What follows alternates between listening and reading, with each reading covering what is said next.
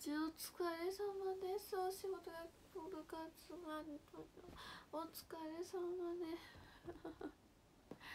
あー眠いね。むむむむ。ああ眠いからもう寝ちゃうかもしれない。すみません。そう。あのー、髪切ってないっすね。みんなに言われたんだけどお見送りとか SNS とかでも。あのこれ逆で伸びてだから丸めて動きつけるとまとまって良いという。そう。そういうやつですこちら。うん。えー、こちらはですねえー、くびれヘアですね。こっちは内に入れてこっちは一回内に入れた後膨らませた後外羽です。まあだから外羽の方が近いですね。どっちかっていうと内巻きというか内羽的なものよりは。外羽ですねどっちかというとね。この髪型は。でも昼と夜で違いますよちなみに言うと。昼と夜で髪型違いますから。ね。はい。気づきましたがね。昼はイン。昼は内巻きなんですけど。夜はこういうちょっと外っぽい感じで。違います。で髪は切ってない。伸びた。量が多くて。そう。うん。そうでもなんかそのさシンプルストレートとかよりはあのー、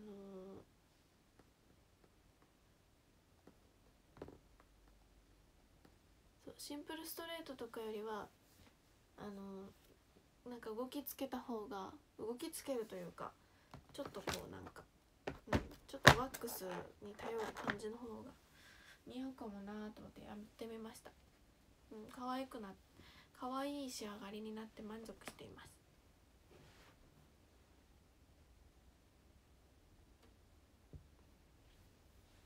ありがとうございますまあね普段はこっちの耳も全部かけることが多いのでまあ違和感あると思うんですけどこんだけ前出すとこっちでもいいなって感じだね。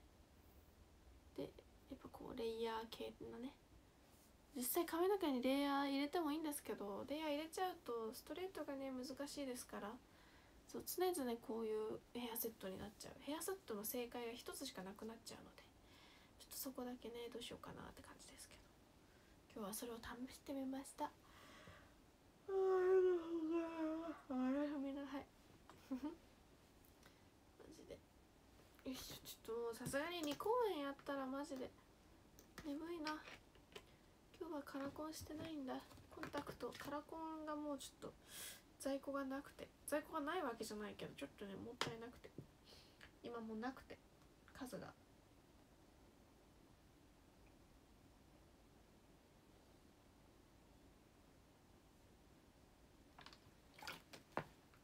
ああ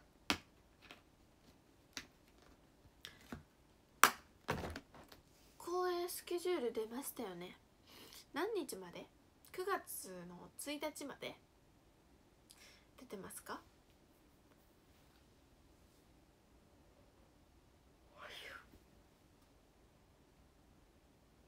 ？1日までか。私多分全部出るよね。2131 1日かな。あれ他にあったっけ？そうなんですよ。8月31日エンド9月1日で4公演で。でしかもなんかあのー、通常公演ではないので結構体力くるだろうなって今から不安なんですけど。うん。そう生誕祭って夜遅いし。で1日はあのー、コマの初日かな？なので。朝早くて。マジでちょっとそのスケジュールだけはこうなんだろう。スケジュールに対してだけちょっとうってなるとこがありますね。別にわ分けて考えわ分け分かれてたら全くもって何のダメージもないんですけど。何のダメージもないって言うとあれか。普通に体力は使えますけれども。うん。そう今日もそうでしたけどやっぱりこう後輩の初日、まあ、後輩のというか、まあ、ポジションが人が変わるとですねあの全曲を全部音でやるし必要とあらば音以外の確認もしなきゃいけないのでシンプルに3公演なんですよ。1日。昼夜公演以外にもプラスリハ。そうそうそう。そうなってくるとね今日みたいに1日だけだったらまあまだあのー、ねその日暮らしで行けますけど。やっぱこうちょっと2日目になってしまうので。あのね綺麗事を言うとねその120%全力で全てあの向き合えたらそれはベストなのかもしれないけれどもあの本当にそれは体力が持たなくてガチで倒れてしまうので。うん。そう。うん。ガチで倒れてしまうのでそれに関しては。うん。てか危ないし。うん。っていうのもあって。ね。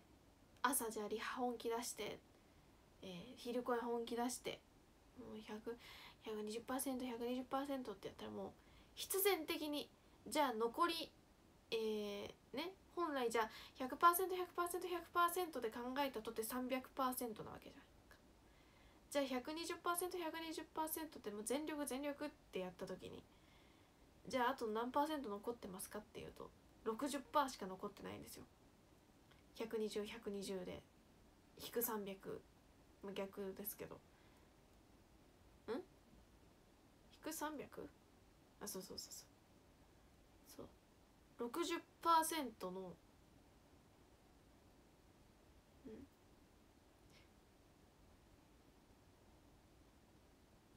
そう最終的にじゃあ夜公演は60%の出来になってしまうので。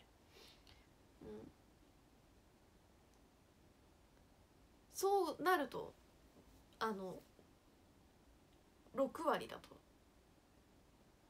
まああらも目立つようになるでしょうし。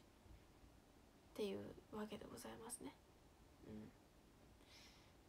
うん。まあちょっと今普通にシンプルに300%になってることに関してはどうなんじゃって感じなんですけど。そう。なんてまあ、まあそういう考え方が一つ。あと何があるかな。全体の HP を3ん HP を100%だとして。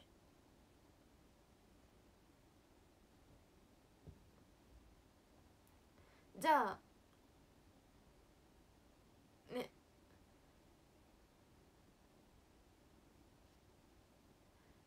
昼公演。まあちょっと難しいな。もうちょっと分かんないちょっ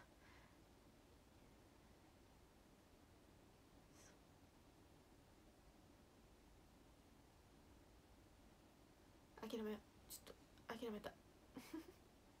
ダメ。ちょっともう考えなんか説明はできなくもないけどちょっと諦めましたね。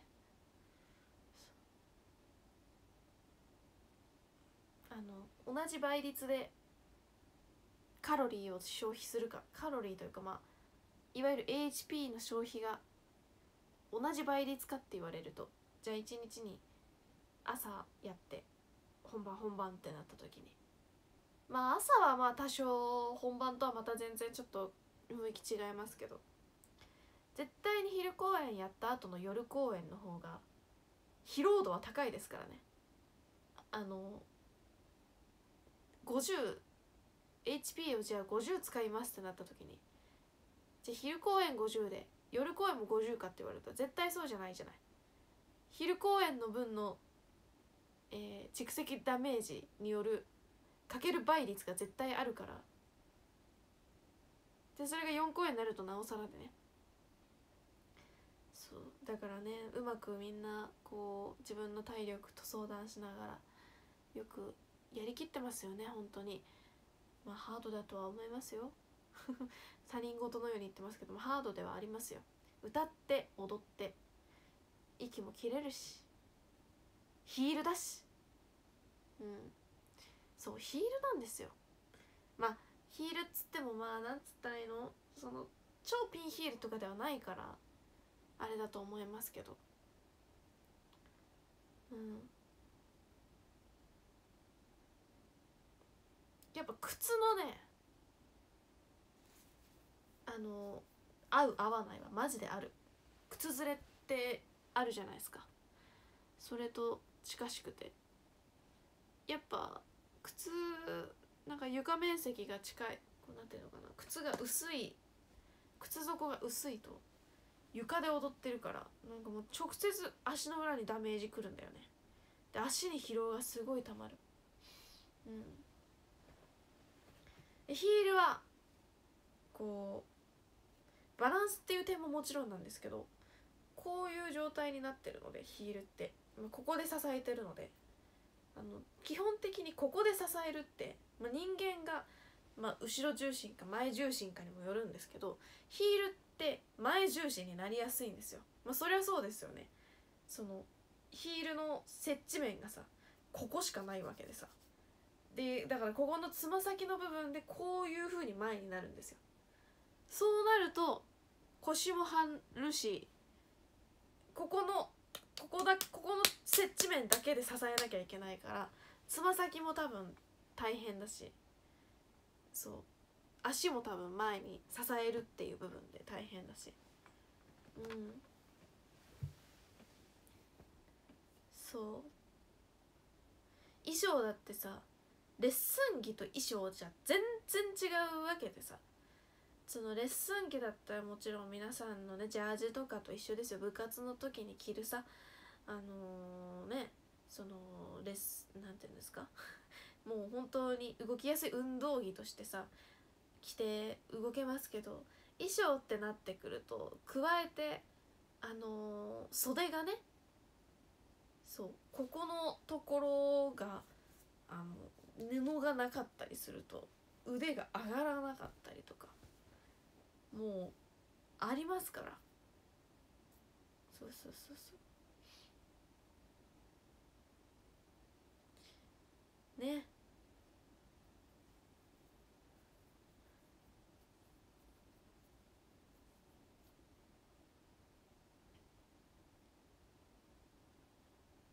間違いなく窮屈だしな衣装の方が。そりゃそうなのよ。ずれ落ちてきても困るからね。うん。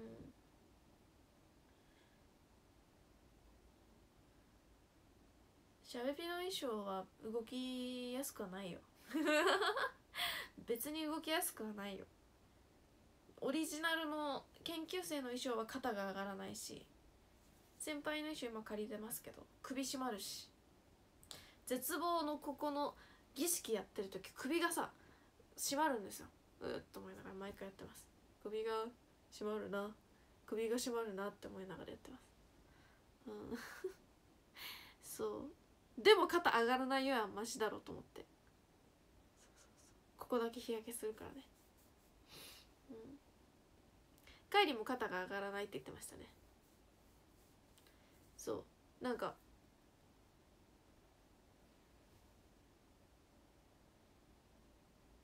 生地の硬さの問題なのか腕の可動域の問題なのか分かんないんだけど。そ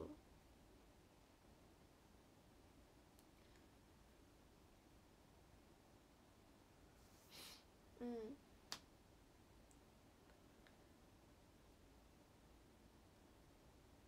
そう。引っかかるの衣装が。わかる？ここがだからここここがあの多分肩が張ってる人ほどここが上がらないんだろうね。怒り型であればあるほど。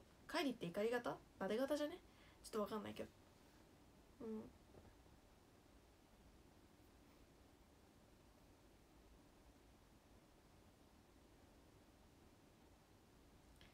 そう。あそうそう。結局機能性のねメインではない。もうほんと見見せ方見え方の問題の方があれですから。踊りやすい衣装は何ですかね。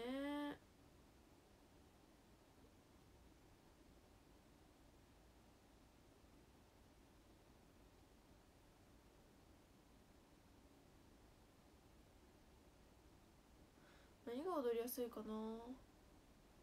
正味別にどれも踊りづらい。踊りづらいというかそのレッスン着と比べたら全部踊りづらいですけどね。そりゃそうなんですけど。そんな中でも強いて言えばなんだろうな。うん。ああ赤ベロアですね私圧倒的に。まあ自分の衣装ってのもあるんですけど。赤ベロアってあれわかる？赤コンサート。あの今の思い出いっぱい公演で今日負けで着てる衣装ですね。うん。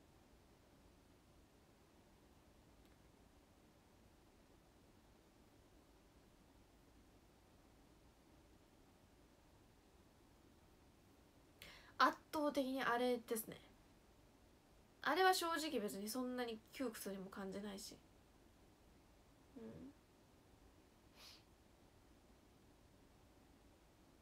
ん。自分の衣装ってのももちろんあるけどだとしてもやっぱこう腕もねパスパフスリーブになってるから動くし。あまあ靴ちょっと踊りづらいけどね。うん。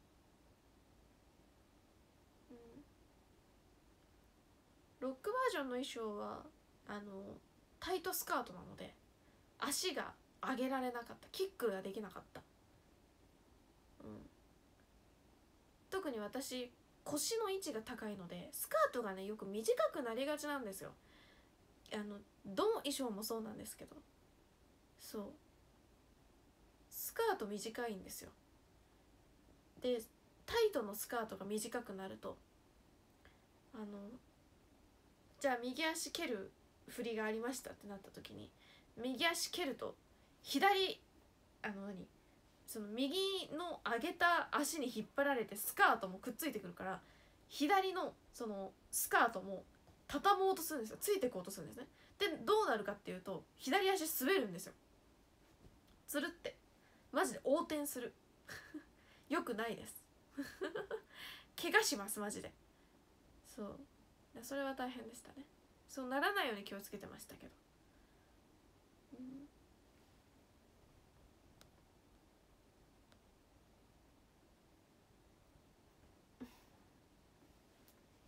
いやだからそう。まあそれは別にあれですけど。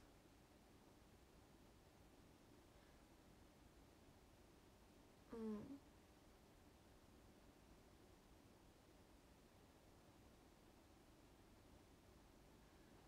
そう。まあ大小多かれ少なかれはあると思うけど大抵その形としては似たようなものなのでまああれはショートパンツ系の形だったりもしたりしたので、まあ、形違ったらちょっと違うと思うんだけど。そう。なんかねそういうの全部こう意識しながら歌ったり踊ったりしなきゃいけないから大変ですよね。うん。で早着替えもあるし。いや思い出いっぱい公演のね何が大変ってね私自分のポジションオリポジの時はねあのー、蒸発した水分からずっと出ずっぱりなことが結構ね来てると思うんだよね。響いてるんだよな。なんかこうあのー、生誕の時にななみのポジション入った時にびっくりしたもん。え？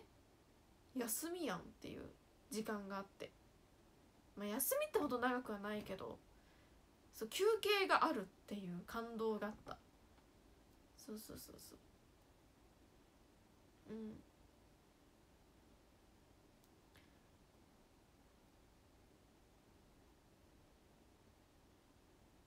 あの「嫌いなのかも終わり」の MC の時に。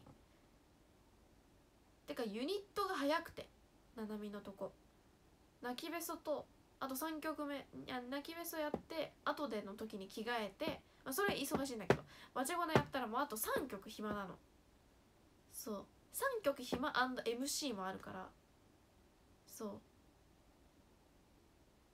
まあかといって別に「おやすみなさい」って寝れるとかそういうわけじゃないので もう決して休憩っつってもあのねずっと意識はさステージ上にこう何今何やってるかっていうのを意識しなきゃいけないから。別に何も考えずにそこでゴローンってできますとかそういうわけじゃないんですけどもちろん。着替えもしなきゃいけないしメイク直しもしなきゃいけないし。そう。そうでもそこのね時間があるからうん。びっくりしましたね。そうそうそう。結局あの休憩の時間というか出てないステージ上に出てない時間って大体みんな写真撮らなきゃいけないから自撮りとか、でそれに比べて今やってる自分のポジションオリポジはですね、まあ、まず4曲終わって、えー、前半の自己紹介 MC を聞くでしょ。まずねまずそこもねそもそも自己紹介 MC を全員分聞くっていうのもずっと立ちっぱですから。そう。軽く何分ですか？あれ10分とか。もうちょいかかってますかね？10分15分ぐらいあります。そう。ずっと立ちっぱで最後まであのね話の内容を考えてかつかぶったら変えるっていう。そう。であのずっとねこうステージ中立ってますからもちろんこうリアクションとかも取るわけで。でちゃんと話も聞いた上で。そうそうそう。で最後ちょっと軽く締めて。でそしたらねはけたら、まあ、泣きべそ泣きべそ後でバチャゴナの間にまあ1曲目の蒸発の何かがいるの衣装に着替えるわけですけれども。そこも別にね時間に余裕があるかって言われたら別にないからな。あるけど他のとこと比べたら3曲あるから。でもそっからじゃあ次の曲の準備とメイク直しととかやってたら全然あっという間にわちゃごなの時間。そうそうそうそう。でいやまあそこまあだから強いて言うなら今回の思い出いっぱい公演で休める場所はそこだけなんです。そこの3曲だけなんですね。で蒸発した水分出たら1曲で空き缶パンクだけで、えー、着替えなきゃいけないんですよ。嫌いなのかもしれないで。その嫌いなのかもしれないの衣装可愛いんだけど小物が多くてまずリボン。リボンでしょ？リボンとシャツ2枚着込んでます。なんでかっていうと次の曲の早替えのために中にその半袖シャツの中にそのさっき言った赤ベロアの今日負けで着てるあのコンサートの衣装のブラウスだけを先に中に着てその上から半袖シャツ着てその上からベスト着てるんですよ。そうめっちゃねめっちゃねあの重ね着をしているので。でプラススカートでしょ？で靴下も靴下もあのー、ハイソックス。長めの靴下だと次の衣装のローカットブーツに出てしまうので。なので中にくるぶし丈のソックスを履くんですよ。靴下を。靴下も二重で着てるんですね。二重で履いてるの。そう。でプラスローファーで。だからめっちゃ小物が多くてなんか他のこう早着替えの衣装って大抵まあワンピース1着でシュッ悪いいってらっしゃいって出せるのが、まあ、コンサートとかもねちょくちょく話したりもしますけどそういうのが多いんですけどあのそうそこのね早着替えに関しては小物が多いので着るのもそもそも早着替えだし脱ぐのもなおさら早着替えなわけ。ね、だから蒸発出て1曲で着替えて嫌いなのかもしれないやって休むこともなく水を飲むこともなくそのまま MC で5分ぐらい話すんですよ。毎回毎回決めなきゃいけないしね。エンジンと。でじゃあやっとはけました休めますかと思いきやえっ、と1分半か1分半ぐらいかな。1分半もあったっけな。1分半ぐらいか。1分半ないぐらいかな。でその嫌いなのかもしれないのたも大量の小物から赤ベルアの衣装に着替えなきゃいけない。で赤ベルアの衣装も大変なんですよ。そうそうそうそう。大変。着替えるのはあの何でしたっけ？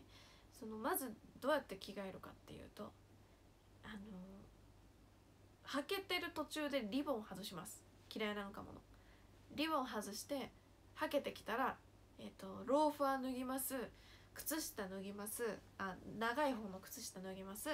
でそしたら衣装さんが後ろのえっとベストニットベストの、えー、チャックを下げてくれます。スカートもチャック下ろしてくれます。でえっとでチャックベストペン脱いで。でえっと上に着てる半袖のシャツ脱ぎます。脱ぎます。でスカートも脱ぎます。で、えっと、そこに引いてある 引いてあるスカート、えースカートパニエオンスカートを同時に2枚履きます。止めます。でえっ、と入れ込んでるシャツの襟を出してチャックを上げます。リボンつけてもらう。えっ、とアウターをね上着の部分。あの何ですかあれ。アウターの部分。アウターの部分をえっ、と腕通します。でそしたらボタン2つ止めてベルトをカチャって止めてでそれで終わりじゃないんですよ。で靴履きます。で靴はそのローブーツね。黒い黒いハイカット。ななんつったらいいの？あれ。黒いブーツ。あとはヘアメイクさんがここに髪飾りもつけてくれます。以上かな。これは1分半1分半かもっと短いかもな。えっとね今日負け。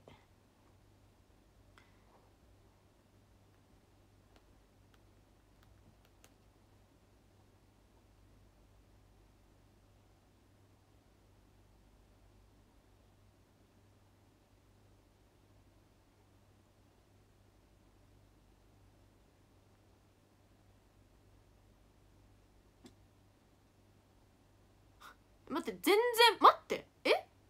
ん？ん？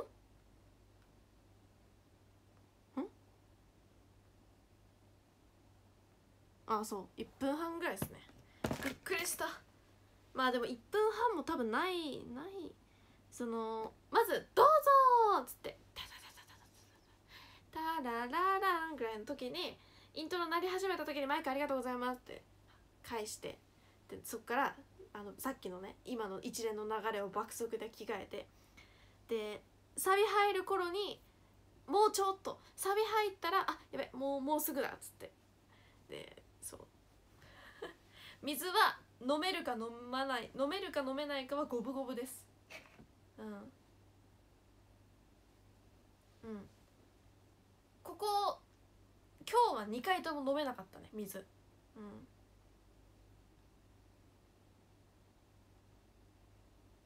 えそうこれを毎公演やるって結構そこそこなストレスですよね絶対。マジで。本当に。マジで絶対にね。なんかさこれがねそのコンサートの1回限りだったら別にそこだけ成功させればよいし人もいっぱいいるし大丈夫なんだけどあの毎公演毎公演って。でそのしかもその衣装さんとかヘアメイクさんって1人に対して1人いるわけじゃないんですよ。うん、であのまあ嫌いなのかもしれないって3人しかいないですけど。そう。3人を2人で担当してるのでそれぞれ多分。うん。大体ね。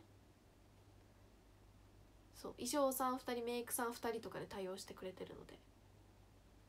てかまあそれでは言うとアンコールもそうなんですけど。そうなんですよ。ね。皆さんに舞台裏苦労をぜひまあこの機会に知ってもらえたらあの感慨深いでしょ。うん。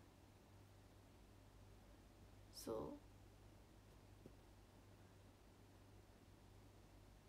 まあコンサートの方が動線が多かったりとか普段慣れてない衣装着たりとかあとまあ2階に上がるとかいうそういうなんだろうタイムロスタイムロスっていうか、まあ、そういう演出だったりしたりとかでまあ無茶な要望があったりしたりもするので、まあ、どっちが大変かって言われたら別にあの何比べられるもんじゃないんですけど。うん。うん。あのその大変それぞれの個々の大変さで言ったら別にかあの比べられないけどその1回限りのものと何度も何度も同じ速さの着替えを絶対に成功させなくてはいけないプレッシャーはまあどう考えたってね。そう。ありますからね。着実に削られてますよね。産地。うん。そう。そう。でそっからねそのそっからその早着替え終わって出ても、まあ、ずっと歌ってるし2曲歌うわけやん「今日負け」の途中とさセカオやって。セカオ終わってからもはけることなく MC やって。でそっからマックスもやって。でマックス終わってからもだからさっき言ったアンコール着替えなんですよ。そうさっき着たあのふ重ね着の 赤ベロアたちを脱いで今はシャベピの衣装に着替えて。そこはさすがに水飲む余裕はあるけどアンコール発動が早いと早いねってなりますね。ざわめきますねああ今日は早いね感覚でありますあ今日早いみたいな。ありますね。さすがに。たまに早すぎるとあのお客さん側が止めてくれるよね。早いっつって。なんか確かそんなことありませんでした？何回かあるよね多分。そう。でも大抵決まってるのであの目安の時間がアンコール何？アンコール明けの時間っていうのが。でまあ基本それをこうなんていうの？目安にして私たちも準備してるので。うん。てかでも違う私最近思うのがアンコールお手洗い間に合ってなくね？ファンの人たち。と思って。お客さんがあのーまあ多分お手洗いだと思うんですけど皆さん。席立ってて空席 空席のままというかそうイントロないしは一番の平メロで 来て。そう。でも混んでるだろうと思って。もうちょっと多分それは普通にゆっくりでいいのではっていう意見ですね私は。なんか私側私たち側の意見。というよりかは。私たち側はまあ別に今でも最低限ね別にそのメイク直せてみたいなその時間があれば問題ないんですけど。そう。そうそうそう。でもちょっとちょ逆に言うとお客さんが間に合わないことの方が問題なのではという意見ですね。私たちも着替えて出るだけなんで着替えてメイク直す人は直してみたいな。もう直す時間ほぼないですけど。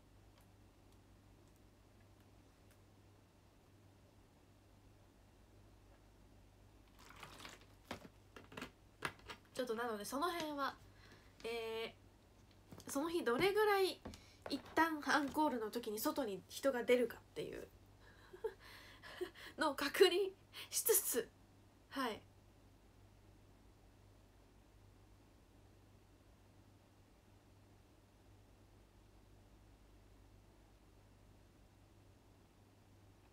車で3時間半かけて家戻りました。わお疲れ様でございます。そうですよね。そういう方もいらっしゃいますよね。あのー、えっと えっととか言っちゃって。あのー、今日と言いますかお盆かつ3連休まあ3連休かつお盆の初めか。そうそうそうだったので。なんか結構いつもまあ原ちゃんの初日ってのもあったと思うんですけどこういつもこう見かけないというか見かけないとはまた違うか。あなんかこの人たまにたまにごくまれにこういうタイミングでいるよね。みたいな。うん。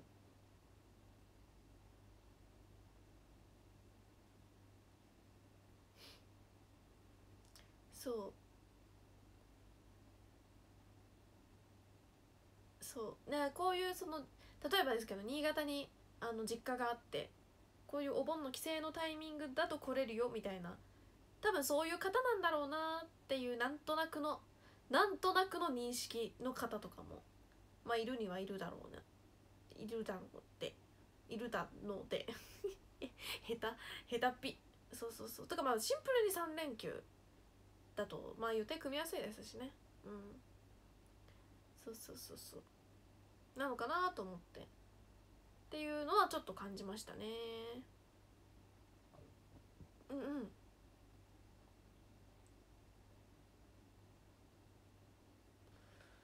ん。まあ普通に県外から来る方もねよく考えたらそりゃそうなんで。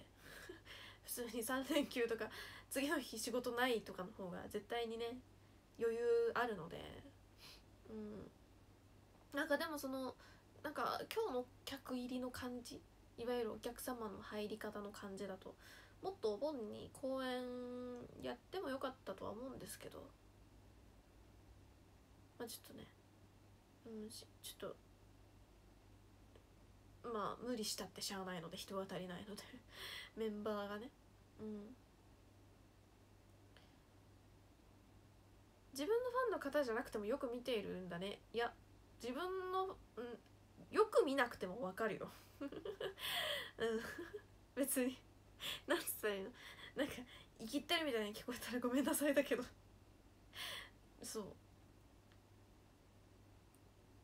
まあよくというのはこう何？強くという意味でなくてシンプルにあの相対的な意味としてあのそう。よく見てますね。っていう意味なのだとしたらそれはそうなのかもしれないけれど。うん。そう。別にじーっと見つめてああの人みたいなっていうことではないよという。まあそりゃそうか。うん。ねえ。そう。いやでもねまあでも今日普通にシンプルに私の推しサインを振ってくれてる方もまあいた気がするな結構。普段よりも当社比多かった気がする。うん。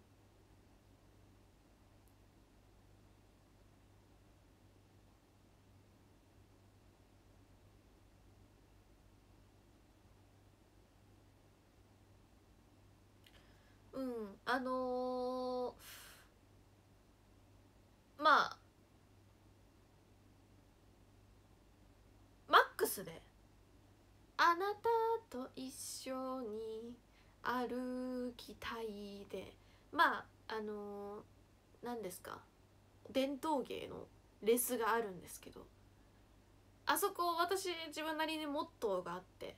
まあ一番近いお客さん正面の一番近いお客さんを大抵その範囲内で決めてそこにいたらそこに投げるっていうことをやってたんですけど。あの 今日に関してはあの あのねなんかこう正面の2列にそれぞれ3号ぐらいいて困ってましたね。いやどこで？ってどどうしたらいい？と思って。うん。困りましたね。こういう時困るんですよ。大抵ね結構まあ散らばってあの正面1でと手前のこっち側に1とかちょっと手前のここ1とかちょっと奥の1とか。そうそうそうそう。そうそうそう。とかなんかまあ大抵っていう。うん。そうそうそう。そうなまあ大体2人ぐらい。まあね1サビと2サビ1サビとラスサビでちょうどまああまあレス遅れるかなって感じの。そうなんですけど。3号いると。そうしかも別にさ正面とかじゃなくてさこう列の列の合間の正面みたいな。だからさどどっち振ったって正面ではないしなみたいな。そうそうそう。あれ困りますね。まあでもそう私なりにこう決め事をしているので。うん。あとねあるあるですけどこれはねあまたあと1分ああと1分で今日の思った思ったというか松根で思ってる公演あるあるなんですけどあの多分ね最前より3列目の方が目が合う。これねマジであるある。最前って足なんだよな。マジで。こうなんだよな。あんまパフォーマンスしてて歌ってこの顔の首の下の向き方しないっていう。それな？うん。足なのよね。だからね私意外と最善よりも実は3番目ぐらいの方が3番目ぐらいの方がまあみめまあレスっていう点においては。そうそうそうそう。そうなんですよ。あとね普通に歌ってる時にこうやってやるとね喉閉まるからね見れない。本気で歌えば歌うほど。うん。あまあ4列目ももちろんそうだけど。まあ4列目かな。正味1番目が合うのは。ちょっと出てる部分ね。上にね。はいということで誕生日ます。ありがとうございました。えー、ちょっと、えー、読みますね。源五郎さん、市田さん、新茶ロスさん、太郎さん、X 山さん、陽一くんさん、えー、突破球さん、むつきさん、しんいちさん、日和げたさん、東郷さん、よったさん、埼玉高校屋さん、ありがとうございます。うん。そう、4列目の方が確かにそうかな。まあ、近さっていうとね、実はね、2列目、3列目かもしれないけど。はい、ということで皆さんありがとうございました。目が覚めましたね。おやすみなさい。おやすみ村。バイバーイ。ぴょんぴょんぴょんぴょん。みむら、みむら、みむみむら。痛い。痛い。